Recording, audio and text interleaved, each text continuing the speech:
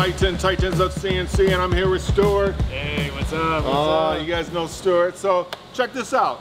Uh, I am excited because we're going to show you a glimpse of another aerospace project that we're doing, all right? So last week, I was over at the Makino and I was talking about us actually having three tutorials going on in the shop right now, which are for our Aerospace Academy that's gonna be dropping in late February 2020. So not only am I getting ready to machine the titanium part on the Makino with Jeff, but we got Stuart over here and we're treating this just like a real job shop because over the last 10 years, we've actually made a huge amount of rocket parts for the top companies. So I wanted today to actually just speak a little bit to that. One of the cool things is Stuart has been a machinist for us for how long?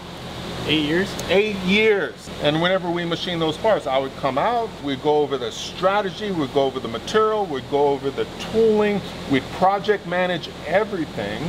And then you would actually go ahead and start making the parts, getting them into inspection, and we just go through the process all the way to completion, putting it into outside processing, bringing it in, inspecting it again, and then shipping it. Yeah. Right? We go through the whole entire thing together as a team. As a team. So that's what we're gonna do here. And that is the difference in the Aerospace Academy.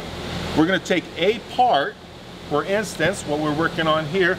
Oh, look at that, metric and English prints, all right? So basically, we're gonna go over the part. You're gonna instantly understand that we're in a different world now. Because we're going off of datums, we've introduced true positioning. We're, we're talking about how to calculate true positioning. We're going over the inspection and we're going over the entire process and strategic planning needed in creating parts like this to print. Not only creating parts like this to print, but duplicating the setup easy and efficiently the second time. So Stuart, what do you got over here? So over here, I have our fixture plate. This is a perfect material for fixture plate. This is MIC-6.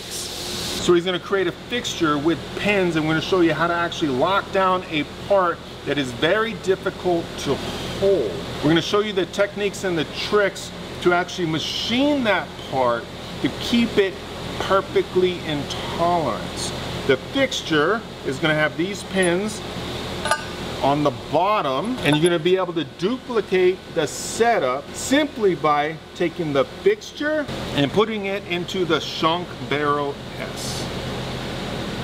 We're gonna put the fixture in, we're gonna take the fixture out, we're gonna show you all the different pins, expansion pins, everything that you need to actually machine this part perfectly.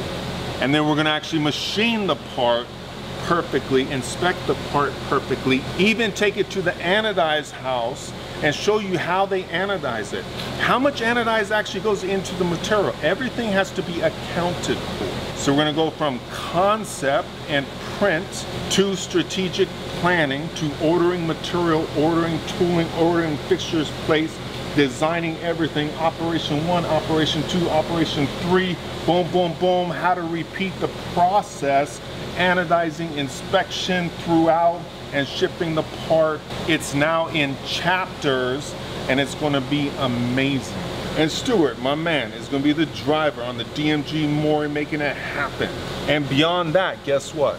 Not only are we making the titanium part on the Makino and the ISO grid here, Tyson on the NLX 2500 is doing a crazy titanium tutorial using two chucks and live tooling to actually make this awesome part complete in one operation. So it's basically going to cut the first op, it's going to do the live tooling, the other chuck's going to come up, grab it, boom, it's going to do the other side, you're going to take it out. It's high level stuff and we're teaching you guys for free.